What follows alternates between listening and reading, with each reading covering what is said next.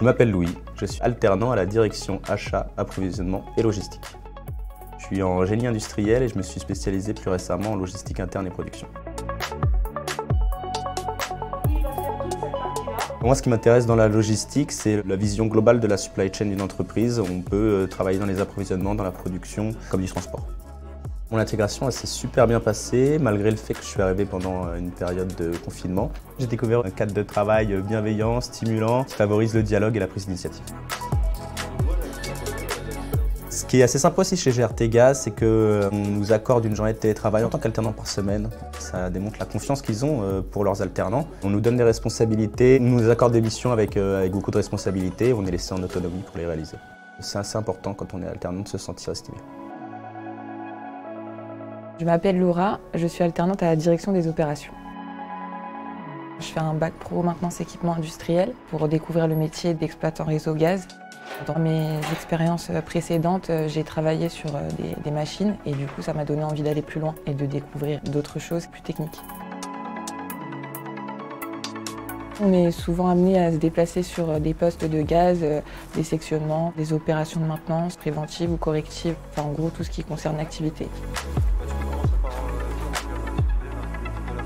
Il y a une bonne entente et une bonne entraide entre les collègues ils font pas vraiment la différence entre apprentis et agents. On nous fait vraiment participer aux opérations de maintenance. Ils n'hésitent pas à partager leurs connaissances pour enrichir les nôtres. J'ai voulu dans une équipe où je suis la seule femme et je trouve que c'est pas un frein et que ça apporte plutôt une complémentarité au sein de l'équipe. Je m'appelle Julien et je suis alternant à la direction des systèmes d'information de GRT Gaz.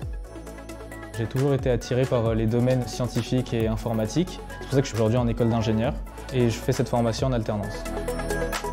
Mes missions sont principalement basées sur la gestion de projets. J'interviens aussi sur l'aide à la transformation agile et sur le traitement de divers sujets liés à SUSI, qui est un système de supervision des stations de compression et d'interconnexion. J'ai un tuteur qui est très à l'écoute, qui me donne ses conseils et son expertise pour m'aider, m'aiguiller face aux situations auxquelles je suis confronté euh, tous les jours.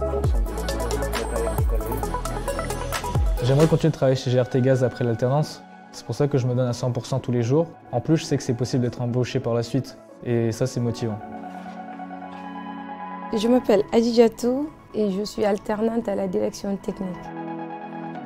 Je suis originaire du Sénégal, j'ai fait un BTS géomatique.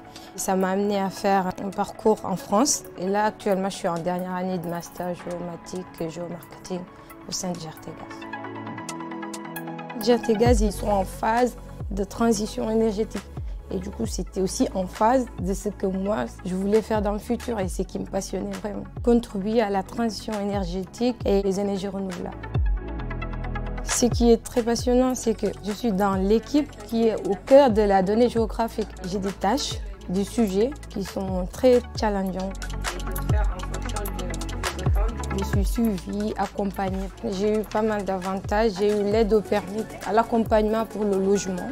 Du coup, je, me sens très bien intégrée dans mon équipe et ça se passe très bien.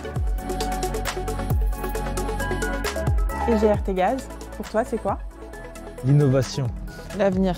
Confiance. Diversité.